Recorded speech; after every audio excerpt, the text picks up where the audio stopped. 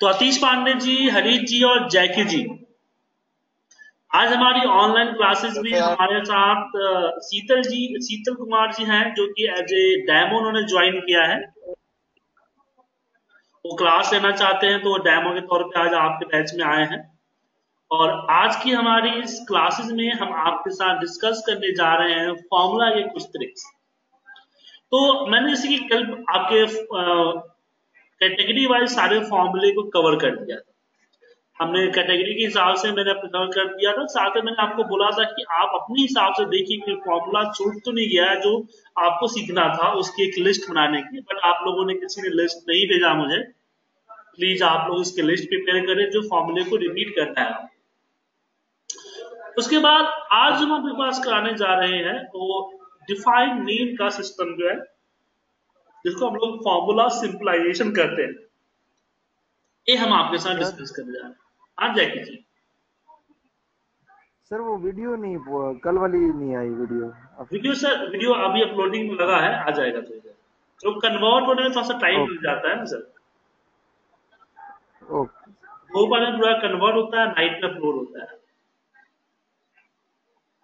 तो अब बात करते हैं यहाँ पे कि जैसे कि मैंने बताया आपको कि हम फॉर्मूला सिविलाइजेशन पढ़ रहे हैं मतलब कि नेम जो है हमारा, उसके बारे में हम डिस्कस कर रहे हैं। तो अभी हम आपके साथ डिस्कस कर रहे हैं सबसे पहले नेम देखिए क्या है कि अगर मैंने कोई एरिया सेलेक्ट किया है, जो कि है B2 से लेके ई से B2 से ई से तो अभी कंप्यूटर इसको एक्सेल इसको किसके नाम से जानता है? कि book two sheet one B two से लेके ई टू लेकिन अगर मैं डिफाइन नेम पे गया, इसका नाम मैं डीडी रख दिया एंड ओके कर देता हूँ। अब एक्सेल इसको डीडी के नाम से जानता है। मतलब कहीं भी मुझे इसको अप्लाई करना हो तो मैं जस्ट सम और यहाँ डीडी रख के ओके कर दूँगा। ठीक है? चाहे इस सीट पे हो या किसी अनोदर सीट पे हो। अब इसका बेनिफिट क्या है? इसके बेनिफिट तो कई सारे हैं, लेकिन हम इसका बेनिफिट और किस तरीके से कर सकते हैं, चलिए हम आपके सामने दिखाते हैं। सबसे पहले फॉर्मूला को कैरी करने का। जैसे कि आप चाहते हैं कि बड़ी फॉर्मूला है, जैसे कि हम अगर बात करें इसकी इंसेंटिव की बात करें। याद होगा इंसेंटिव के लिए हमने नेस्टेड इफ़ का एक बहुत बड़ी फॉर्मूला अप्लाई किया। जैकी जी याद है? हाँ जी सर। हमने इंसेंटिव निकालने के लिए एक बहुत बड़ा फॉर्मूला अप्लाई किया। हाँ जी हाँ जी सर। कि अगर ज़ीरो टू फोर्टी है तो फाइव हंड्रेड हो। फोर्टी वन टू एट्टी हो तो वन थाउज़ेंड हो। एट्टी वन टू हंड्रेड हो तो टू थाउज़ेंड हो। और ग्रेटर देन हंड्रेड हो तो फाइव थाउज़ेंड ठीक है? तो इसके लिए हमने एक्सेल पे, यहाँ पे नेक्स्टेड इफ़ का फॉर्मूला अप्लाई किया था कि इफ़ हमने इसको सिलेक्ट किया, अगर ये कि अगर ये ग्रेटर देन इक्वल टू 40 है तो 500 देन अगेन हमने इफ़ लगाया, इसको सिलेक्ट किया और बोला कि अगर ये लेस देन इक्वल टू 80 है तो 1000 अगेन हमने यहाँ पे इफ़ लगाया, इसको सिलेक्ट किया और बोला कि अगर less than equal to a hundred है तो 2000 अगर बाई फाइव ठीक है? ये हमने फॉर्मूला अप्लाई किया। तो अभी फॉर्मूला वर्क कर रहा है, सही है, सब है, आप समझ भी गए, लेकिन प्रॉब्लम क्या है कि इस फॉर्मूले को हम और आप लोग अप्लाई कर सकते हैं या वो लोग अप्लाई कर सकते हैं, जिन्होंने एक्शन को सही तरीके से सीखा है। लेकिन उन लोगों को इनको एक्सेल ज़्यादा नहीं आता, अगर उनको बोलो फॉर्मूला लगाने का, अगर देख के भी लगाएँगे तो फिर भी कहने का गलती कर देंगे। क्या शीतल जी, सही बोल रहा हूँ आपको मैं? सर बिल्कुल ठीक बोल रहे हैं बिल्कुल ठीक बोल रहे हैं सर आप। तो इसको सिंपल हेलो सिंपल हाँ हेलो पुनीत जी। हाँ गुड इवनिंग सर अभी ज्वाइन किया कितना बता दिया? बस स्टार्टिंग किया है। अभी इंतज़ार कर रहा था। ठीक है सर ठीक है लेट तो मैं यहाँ बात कर रहा हूँ कि इतना बड़ा फॉर्मूला को अप्लाई करने में दिक्कत हो सकती है। तो इसका सॉल्यूशन क्या है? कि मैं इस फॉर्मूले को कॉपी करूँ। कॉपी करने के बाद हम इस पे कर्सर रखेंगे और हम चल जाएँगे फॉर्मूला मेनू बार के डिफाइन में। यहाँ पे आप अपने हिसाब से नाम दे दें हमने आईएनसी दे दिया। और यहाँ जहाँ पे रेफरेंस था सीट का, वहाँ पे उस फॉर्मूले को हम पेश करें अब मुझे कहीं भी अप्लाई करना है तो देन यहाँ पे आई एन सी लगाऊँगा और एंट्री मार समझ गए? अब आईएनसी तो कोई भी लगा सकता है। मतलब जो फॉर्मूले था, उस फॉर्मूले को मैंने नेम मैनेजर के अंदर में यहाँ पे कैरी कर दिया। इसका बेनिफिट क्या हुआ कि अब थर्ड पार्टी कोई भी अप्लाई करेगा जिसको इजिली अप्लाई हो। जाए दैट कॉल फॉर्मूला सिंपलाइजेशन तो हरी जी, जैकी जी एनसीता जी और बाकी लोग भी हैं, उनसे पूछना चाहूँगा कि ये टॉपिक आपको समझ में आया? जी सर। हाँ जी सर ठीक है। बिल्कुल आ रहा है सर बिल्कुल आ रहा है। तो इस इसके अंदर इससे बेनिफिट क्या होता है? अब बात करते हैं क्या हम फॉर्मूला में डाल सकते हैं क्या कुछ और यूज़ क्या? चलिए। तो एक और करते हैं कि क्या हम कैलकुलेशन कर सकते हैं? जी हाँ कैलकुलेशन भी कर सकते हैं। जैसे कि मेरे पास यहाँ पे ग्रोथ का फॉर्मूला है। मतलब कि यहाँ पे क्वार्टर वन है और यहाँ पे हमारा क्वार्टर टू है। अब क्या है कि ग्रोथ का कोई फॉर्मूला नहीं है तो हम लोग क्या करते हैं, इसकी कैलकुलेशन कर लेते हैं कि latest minus oldest divide by oldest percentage आ जाता है लेकिन इसके लिए हमें इसको बोर्ड मास मेथड में रखना पड़ता है उसकी ब्रैकेट लगा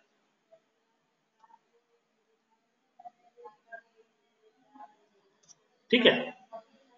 तो ये हमारा ग्रोथ आता है। तो मैं चाहता हूँ कि यार ग्रोथ नाम का फॉर्मूला हमेशा रहे। ठीक है?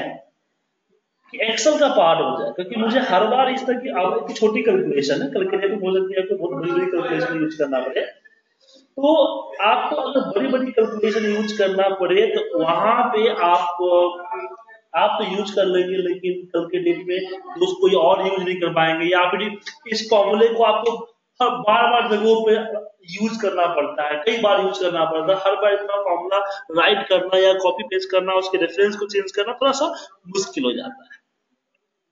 तो आप ऐसे कैलकुलेशन को भी फॉर्मूला में डाल देते हैं। लेकिन ध्यान रखिएगा कि जहाँ से, जहाँ पे आपको रिज़ल्ट चाहिए, वहीं पे फॉर्मूला को पेस्ट करेंगे।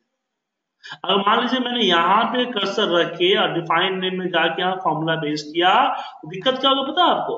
तब क्या हुआ कि फिर वो तीन गैप बल्कि आपको हमेशा ये डी कॉलम मतलब कि पहला क्वार्टर वन दो क्वार्टर थ्रू एक ब्लैंक और यहाँ पे देना पड़ेगा। इसका ध्यान रखिएगा कि आप जहाँ पे रिज़ल्ट शो करना चाहते हैं, वहीं पर कर्सर रखें और डिफाइन नेम में जाए जी नाम का मैंने दे दिया और यहाँ पे हम फॉर्मूला को पेश कर देते हैं।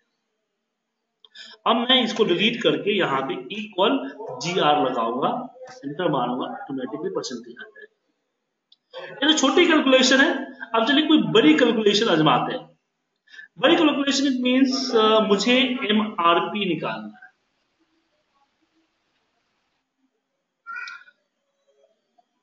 मान लीजिए किसी प्रोडक्ट का कॉस्ट जो है 50 है। प्रोडक्ट का कॉस्ट 50 है, मुझे इसकी एमआरपी चाहिए तो एमआरपी कैलकुलेशन क्या है? कैलकुलेशन ये है कि फाइव परसेंट फाइव परसेंट है हाँ बोलिए शीतल जी। हाँ बॉस मैं ये कह रहा था ये जो जिस सीट पे हम इसको डिफाइन कर रहे हैं उसी सीट पे काम करेगा? या कोई भी एक्सेल सीट खोलने के बाद उस पर काम करेगा? उस फ़ाइल के अंदर जिस फ़ाइल पे आपने बनाया है उस फ़ाइल पे किसी भी सीट पे चलेगा। जैसे मैं बुक टू में बनाया मैंने तो इसको हम कहीं भी इस्तेमाल कर सकते हैं। सीट फोर में भी इसका इस्तेमाल कर सकते हैं। ठीक है? ठीक है सर। और एक मिनट एक मिनट एक मिनट।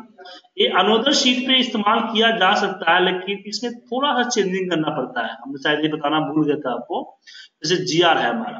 तो देखिए आपको सीट थ्री सिलेक्टेड है। अभी सीट थ्री को यहाँ से आप डिलीट करके सिर्फ़ बी टू रखें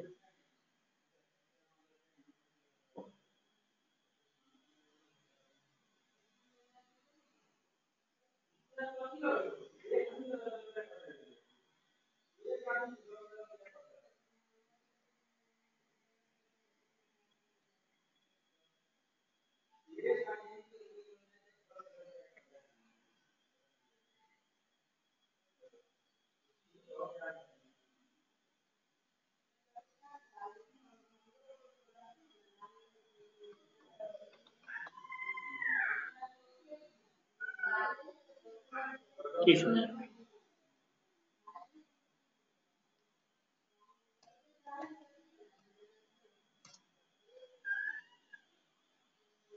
एरर को दे रहा है।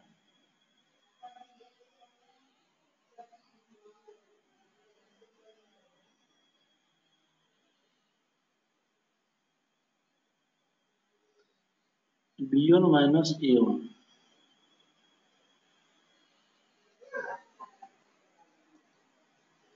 ऐसा नहीं होता है, पता नहीं क्यों हो रहा है। सीट रेफरेंस से प्रॉब्लम नहीं होती है, किसी भी सीट इस्तेमाल कर सकते हैं। आप उसको ट्राई करके देखिएगा, ऐसी प्रॉब्लम नहीं होती है।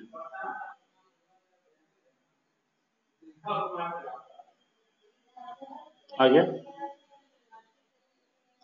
सीट नेम से फ़र्क नहीं पड़ता है इसको लेकिन यहाँ पे फ़र्क पड़ रहा है। लेकिन हाँ एक चीज़ और है, इतना ही नहीं। एक चीज़ और है, जो कि हम सीट से भी इसको दिक्कत नहीं है। आपको एक एक और एग्जांपल समझा रहा हूँ, उसे समझ जाए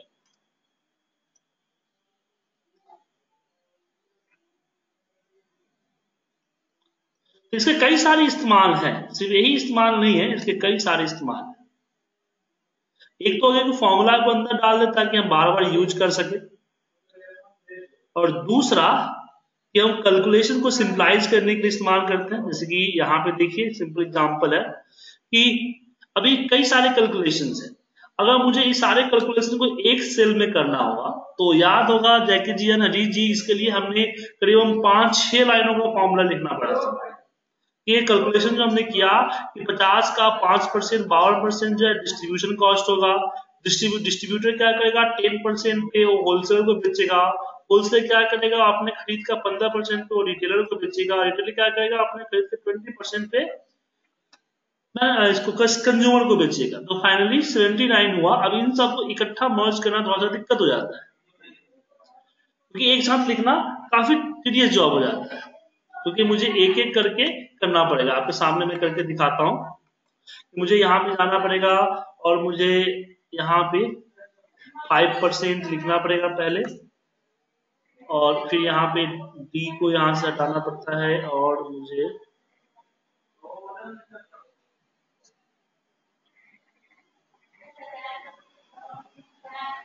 डी इलेवन की जगह पे यहाँ पे टेन परसेंट लिखना पड़ेगा। अगर मैनुअल करे तो। और फिर यहाँ पे मुझे फिफ्टीन परसेंट करना पड़ेगा। और फिर यहाँ पे हमें ट्वेंटी परसेंट करना पड़ेगा। हाँ सर फ़ाइल सेव नहीं है दिक्कत होता है। फ़ाइल सेव कर लीजिएगा। मेरा फ़ाइल सेव नहीं है, इसलिए दिक्कत किया था। अभी याद आया फिर मैं इसको यहाँ रख दूँगा। इसको को ब्रैकेट में फिर मैं वापस इसको कॉपी करता हूँ और यहाँ पे इसको रखूँगा। तो एक एक करके हमें क्या करना पड़ेगा? काफ़ी मतलब कि ऐसे करेंगे तो काफ़ी ज़्यादा लंबा फॉर्मूला हो जाएगा और कैलकुलेशन में भी हमें काफ़ी ज़्यादा प्रॉब्लम क्रिएट करेगा। देख रहे हैं? नहीं, कल ही दिखाया था एक बार दिखाई देता हूँ ताकि आप लोगों का रिफ्रेश हो जाए। इसको हम लोग फॉर्मूला मर्जिंग मेथड करते हैं कि एक फॉर्मूला को दूसरे फॉर्मूला में आप कॉपी पेस्ट के ज़रिए मर्ज करें। जैसे ये फॉर्मूला की हम बात करें, ये फॉर्मूला लिंक इससे और इसका रिज़ल्ट कहाँ से सोर्स का है? फॉर्मूला है। तो मैं इसकी फॉर्मूला मतलब कि सोर्स को लूँगा फॉर्मूला को लूँगा और यहाँ इसकी जो ये है डी थर्टीन है, इस डी थर्टीन पे जाके हम इसको पेस्ट कर देंगे। जहाँ जहाँ डी थर्टीन है, वहाँ वहाँ हम इसको पेस्ट करेंगे। इसकी डी थर्टीन का फॉर्मूला डी थर्टीन के जगह पे पेस्ट कर देते हैं। और जैसे कि यहाँ पे है फॉर्मूला हमारा लास्ट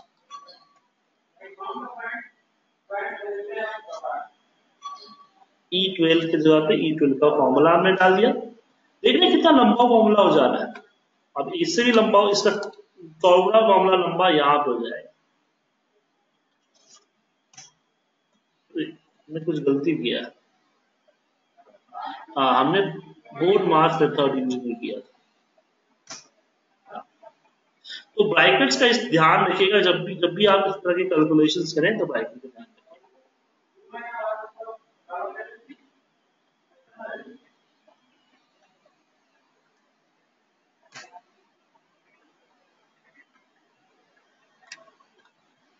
अब देखिए कि कितना बड़ा फॉर्मूला बन गया।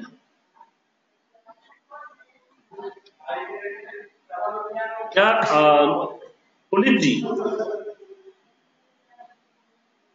कि देखिए हाँ बड़ा बड़ा फॉर्मूला बन गया। हम्म, अब देखिए ये तो बड़ा फॉर्मूला जो बना ये तो हमें नॉर्मल कैलकुलेशन की वजह से बना। अब बात करते हैं कि अगर हम खुद से करें तो कैसे करेंगे? तो इसको सिंप्लाइज कैसे करेंगे? तो चलिए सिंप्लाइज के लिए हम डिफाइंड नेम लेते हैं। डिफाइंड नेम में गया और हमने यहाँ पे लिखा कि 50 प्लस 50 का पाँच परसेंट और याद रखिएगा डॉलर जो है ना डॉलर से आप इसको हटा दिया कीजिएगा। ये तो क्या हो जाएगा कि एक सिलेक्टेड सेल का ही ये बन जाएगा। फिर किसी और सेल पे इस्तेमाल नहीं कर हो पाएगा। एंड ओके तो हमने एमआरपी था ना, इसका नाम माफ़ कीजिएगा, इसका नाम एमआरपी नहीं, इसको एडिट करते हैं। इसका नाम मैं डालता हूँ मैन्युफैक्चर कॉस्ट मतलब कि एमसी तो एमसी निकल गया मतलब कि पावर पॉइंट निकल गया। फिर हम यहाँ पे करते हैं डीसी डिस्ट्रीब्यूशन कॉस्ट तो डिस्ट्रीब्यूशन कॉस्ट के लिए मैं यहाँ पे करता हूँ कि MC plus MC multiply by ten percent and okay कर फिर एक बार हम न्यू पे जाते हैं और यहाँ पे करते हैं एमसी के बाद S C wholesaler cost S C और इसमें हम करते हैं DC plus W C sir multiply by W C W क्या बोला सर? होलसेल होलसेल वो नेम में डब्ल्यू सी दे देते हैं होलसेल होल भावनाओं को समझिए ना एसी कर दिए चलिए। हाँ ठीक है सर ठीक है। उसके बाद इसमें ये हो गया और हमारा नेक्स्ट आता है एमआरपी 15 परसेंट एमआरपी अब एमआरपी में यहाँ पे करता हूँ H C H C plus H C multiply by ten percent twenty percent होगा ना ट्वेंटी परसेंट एंड ओके अब मैं इसको क्लोज करता हूँ इक्वल टू एमआरपी ठीक है?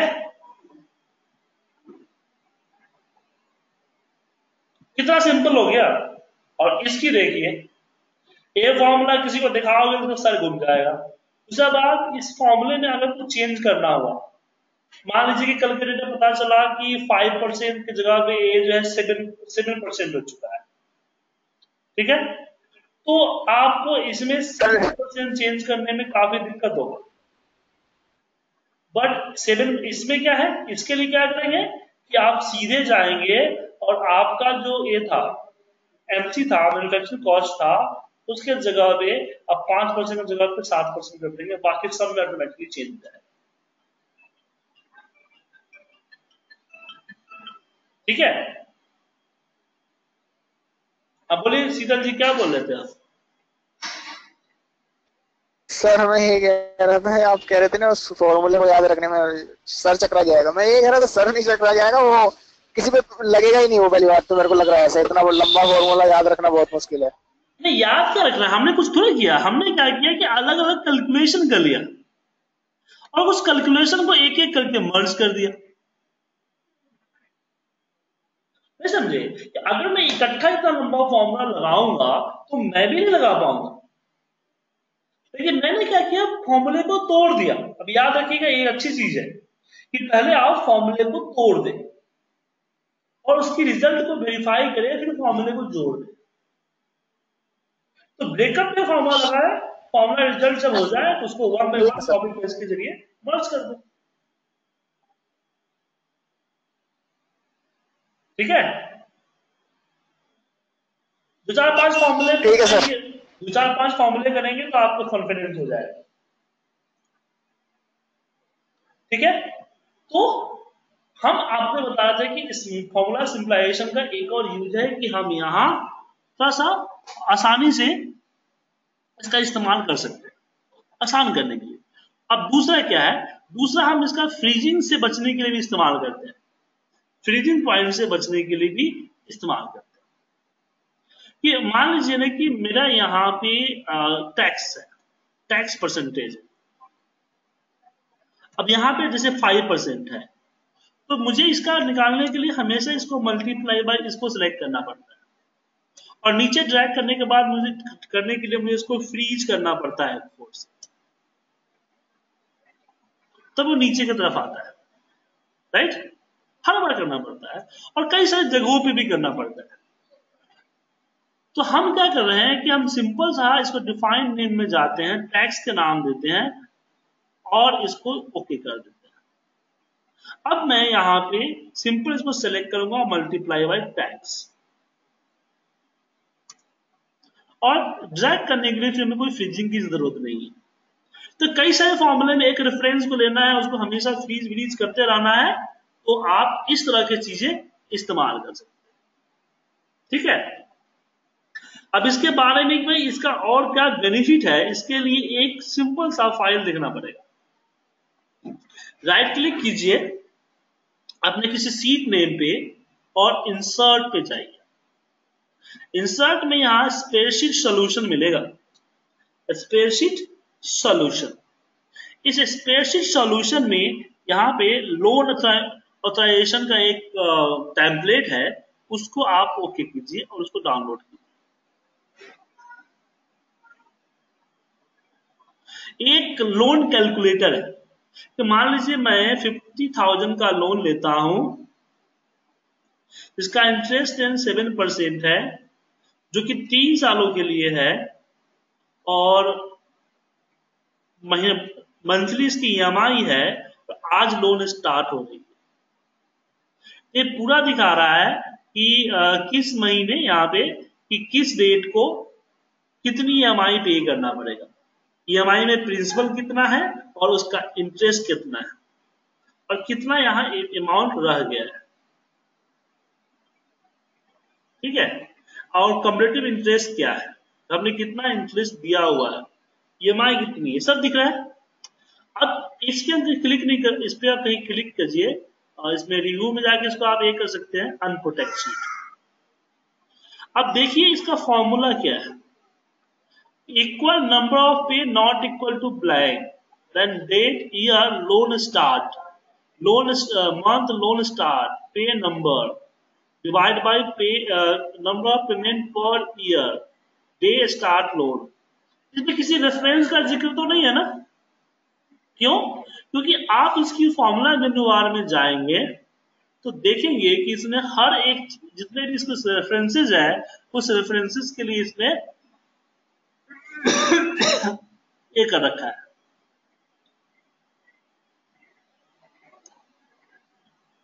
नेम डिफाइन कर रखा है। जैसे देखो पे डेट यहाँ देखिए pay number date principal print area ठीक है ना? लोन ईयर लोन स्टार्ट ऐसा क्यों किया? ताकि वो जिसको ड्रैगिंग में दिक्कत ना हो और उसको हर जगह पे उसका रेफरेंस चेंज करने की ज़रूरत ना हो। मान लो कल के डेट में लोन अमाउंट यहाँ की जगह ऊपर यहाँ चला आता है। तो जितना ये फॉर्मूला है, हर फॉर्मूले में मुझे उसका चेंज करना पड़ेगा लेकिन जब नेम मैनेजर लेते हैं तो बस एक बार नेम डिफाइन को चेंज करेंगे और अपने आप बाकी सारा फॉर्मूला चेंज कर देंगे। तो एक बार इस लोन ऑथराइजेशन सीट को स्टडी करें और जैसा मैंने आपको एग्ज़ाम्पल जो पाँच सात एग्ज़ाम्पल मैंने आपको दिया है, उस एग्ज़ाम्पल को स्टडी करें और अपने खुद के एग्ज़ाम्पल बनाने का कोशिश करें। ठीक है? सर ये फ़ाइल भेज दो। बस आपको फ़ाइल मेल कर देता हूँ मैंने सेव कर दिया है।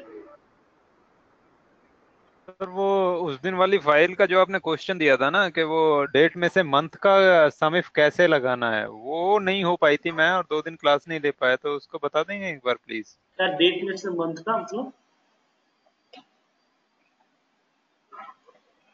जो डेट का था एक कॉलम में एक कॉलम्स में डेट थी एक कॉलम में डेट थी जिसमें सम इफ़ लगाना था हमें मंथ वाइज सर मैंने बताया नहीं है। अब सम इफ्स का नहीं बताया अभी। सम इफ्स का वीडियो देखिए ना उसमें पता चल जाएगा। सम इफ्स से ही होगा।